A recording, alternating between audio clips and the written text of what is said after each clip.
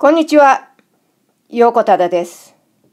今日は JLPT のレベル N1、N の1、えー、リスニングコンプリヘンション、聴解力の問題を一緒にやっていきましょう。問題3ですね。問題3では、問題用紙に何も印刷されていません。日本語でね、何も印刷されていませんっていうのは、英語で一言で言うと、ブランクだということですよ。ね、ブランク。要するに、何もヒントがありませんということです。この問題は、全体としてどんな内容かを聞く問題です。何を言ってるかというと、細かいことにあんまりこう注意を払ったらダメですよということです。全体としてっていうのはそういうことですね。ね。えー、話の前に質問はありません。他の問題と違って、話が始まる前に質問が用意されていて、えー、その質問があるために、えー、どういう話の内容が聞こえてくるかということが想像できる。そういう問題じゃありませんよって言ってるんです。何にもないんです。何にも聞こえてこないんです。まず話を聞いてください。だから話がもうパンとこうね、直接初めから聞こえてくる。そしてその話が終わったら何が始まるかというと、質問が始まります。短い質問ですよ。だから聞き逃したらもうダメです。質問と選択肢を聞いて、選択肢っていうのはチョイスイズのことですけれども、ここではその質問に対する答えですね。質問に対する答え。これが選択肢になってます。そしてその選択肢が4つあります。1から4の中から最も良いものを1つ選んでください。こういう問題ですね。いいですか？はい。ということで4番をやっていきましょう。そこにも書いておきましたが、メモを取らないとダメです。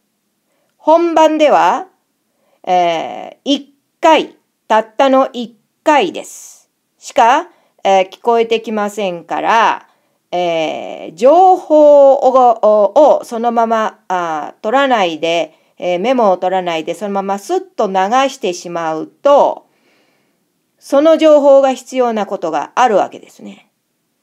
で、そうすると答えられない。ね。こういうことが起こっては、ああなた方はその試験にパスするということが不可能ですから、後悔しないうちに、えー、ちゃんとその対策をする。メモを取るということね。それを忘れないでください。特に質問を聞いているときにはメモ取らないとダメですよ。はい、じゃあ行きましょう。テレビで農業の専門家がキノコについて話しています。キノコにはたくさんの種類がありますが、今日はその代表格である椎茸についてお話ししたいと思います。椎茸は炒め物や鍋物など様々な料理に使われていますが、どのように栽培するかはあまり知られていないかもしれません。質の良い椎茸を収穫するには木を使う方法が良いでしょう。えー、椎茸は椎茸菌を木に植え付け、乾燥を避け、十分な湿度を保つと生えてきます。生育には10度から30度の間を保つことが必要とされるので、春か秋が適した季節と言えます。生えてから2週間程度で収穫できる大きさになるでしょう。専門家の話のテーマは何ですか ?1 番。質のいい椎茸の選び方。2番。椎茸の育て方。3番。椎茸の調理方法。4番。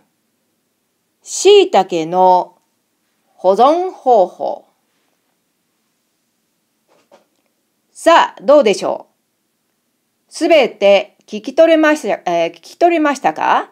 そして、えー、4つの選択肢の中からあ1つ選べましたか？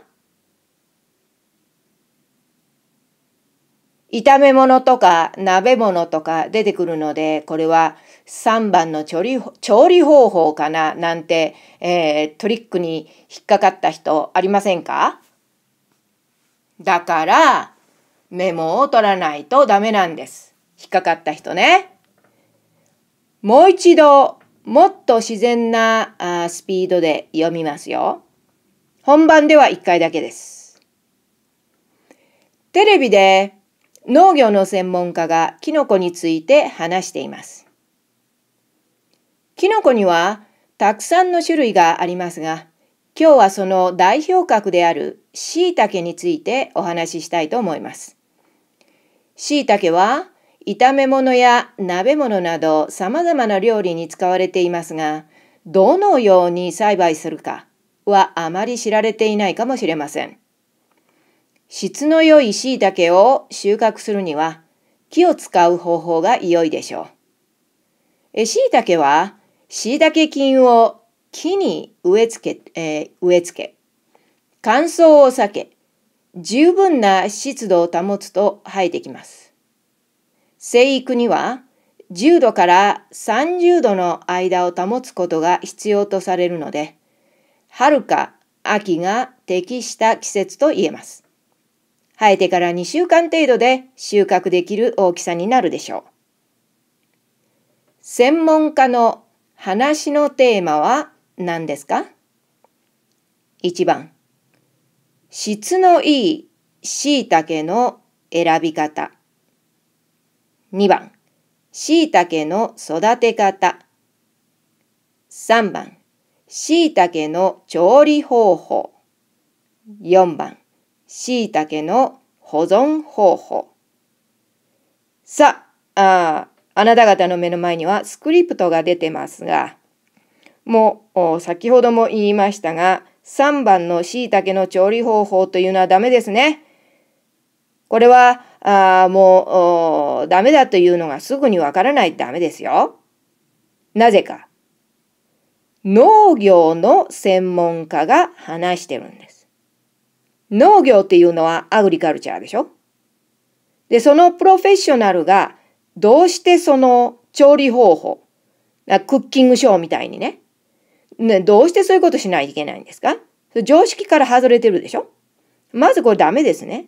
から、えー、炒め物や鍋物などっていうのは、えー、椎茸が使われる、えー、レシピの中で使われる頻度が高いというその例で使われているだけのことであって、ね、えー、農業の専門家が話すような内容じゃないわけですね。はい。ということで、えー、見ていきましょう。気をつけてくださいね。これは全体としてどういう内容かを問う問題です。だから細かいことはいいんです。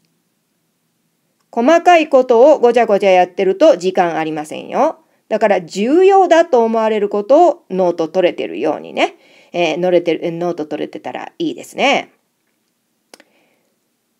話のテーマはさ、何でしょう？しいたけしいたけと。こう何度も出てきますが、この椎茸もちろんキーワードですね。で、椎茸というのはキノコのうちの一つなんです。キノコっていうのはただのマッシュルームでしょ？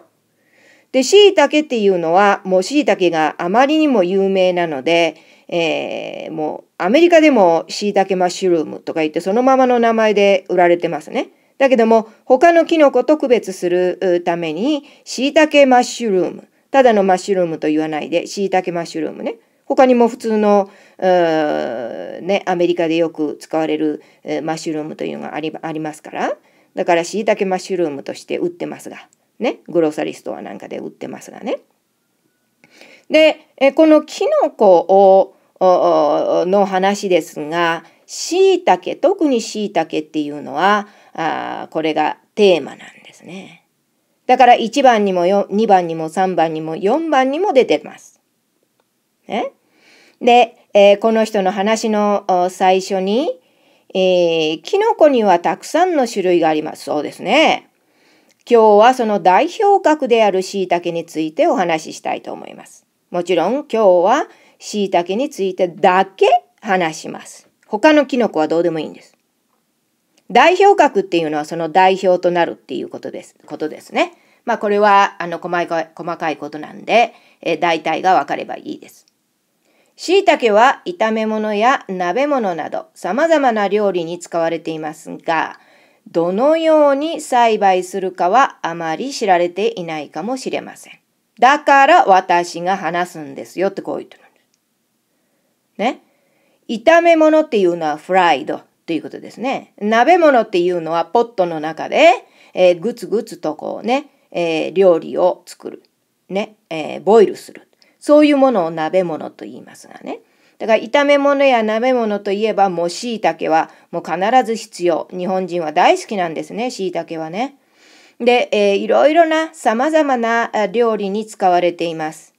ね。だから、あ、椎茸といえばこういう料理にも使われてるなとか、ああいう料理にも使われてるなとか、ね。そういうふうにしてみんな思い浮かべてくれるだろうけれども、さて、どのように栽培するか。栽培するというのは、これは育てるということです。栽培するというのは簡単に言えば育てるということです。もちろん育てるのはどうしてかって後で食べるためですけれども、ね、栽培するっていうのはそういうことですよ。で、だから自然にえー、昔はね、大昔は自然に生えてたものを取ってきたらよかったんだけども、今はそれだけ需要が多いので、ディマンドが多いので、えー、栽培しないと、えー、キャッチアップしないわけですね。みんな欲しいから。ということで、どうやったら栽培できるか、自分で作れるか、これは知ってる人はあまりいないでしょ。だから私はここで話するんですよって。こう言ってるんです。もうここで、えー、答えは出てますが、まあもう少し、えー、読んでみましょう。質の良い椎茸、質の良いハイクオリティね。質の良い椎茸を収穫するには木を使う方法がいいでしょう。まあ、あいい椎茸ね、美味しい椎茸を栽培するにはね、木を使ったらいいですよっていうんですね。ウッドを使ったらいい。どうするかというと、えー、椎茸菌。これはもう菌なんですね。キノコっていうのはあの菌でしょ？全部。ね。だから、椎茸菌を木に植え付け。植え付けっていうのはこ、こうパッとね、置くっていうことです。そして、えー、乾燥を避け。ね。えー、あの、 too dry になっちゃったら、この菌は死んじゃいますから。それを避けるために、えーえー、モイスチャーを与える。十分な湿度を保つと生えてきますよ。で、えー、10度から30度という温度をキープしないといけないので、えー、季節で言うと春と秋がいいですよ。で、えー、生える、生えると2週間程度で食べられますよ。こう言こう言ってるんですね。あとは簡単でしょだから、どうやったら椎茸を育てられるか。椎茸の育て方。この2番が答えになります。で、えー、3番は、この炒め物だとかね、鍋物だとか、そういうのでトリックされた人が引っかかる。で、1番は、選び方というところでね、引っかかる。あの、ダメだということですね。で、質のいいっていうのは、その話の中に質の良いっていう言葉が出てるから、あ、これそうなのかなと思うと違うでしょ？選び方じゃないですもんね。育て方です。はい。ということで、え答えは2番になります。しっかり復習して、そしてノートをしっかりと取る。これの訓練を続けてください。じゃあまた来週。さようなら。